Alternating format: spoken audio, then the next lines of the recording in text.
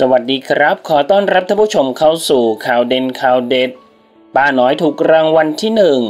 ออกไปเป็นที่เรียบร้อยแล้วครับสำหรับการประกาศผลรางวัลสลากกินแบ่งรัฐบาล ประจำวันที่ 16 ธันวาคม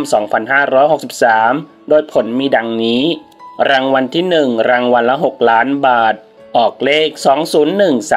201303 รางวัลเลขหน้า 3 ตัว 2 รางวัล รางวัลละ 4,000 บาท ออกเลข 377 และ 828 รางวัลเลขท้าย 3 ตัว 2 รางวัล รางวัลละ 4,000 บาท ออกเลข 072 และ 517 รางวัลเลขท้าย 2 ตัว 1 รางวัล รางวัลละ 2,000 บาท ออกเลข 70 รางวัลข้างเคียงรางวัลที่ 1 มี 2 รางวัล รางวัลละ 1 0 0 0 0 0 บาท ออกเลข 201302 และ 201304 ล่าสุดวันที่ 16 ธันวาคม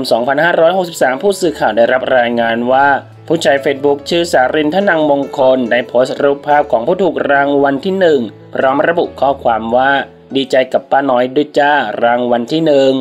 อย่างไรก็ตามทางทีมงานขอแสดงความยินดีกับผู้ถูกรางวัลเป็นเศรษฐีคนใหม่ด้วยนะครับ ท่านผู้ชมละครับ มีความคิดเห็นอย่างไรกับเรื่องนี้ลองแสดงความคิดเห็นกันเข้ามาดูนะครับ